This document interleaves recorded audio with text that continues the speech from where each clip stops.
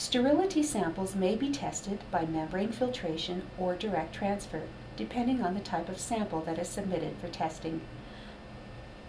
The sample packaging is opened in an ISO Class 5 hood.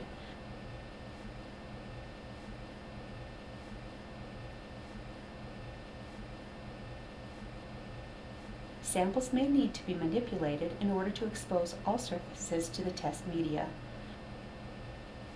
This manipulation may include cutting the sample and removing caps and plungers.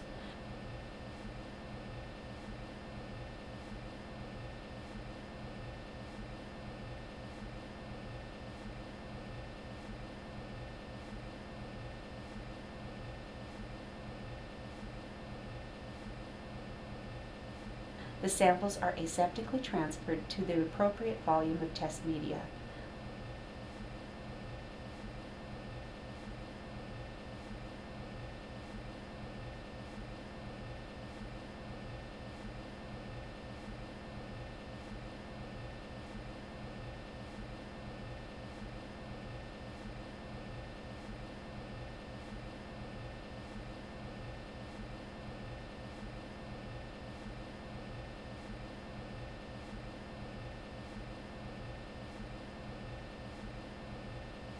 The sample is fully immersed and then incubated for a minimum of 14 days.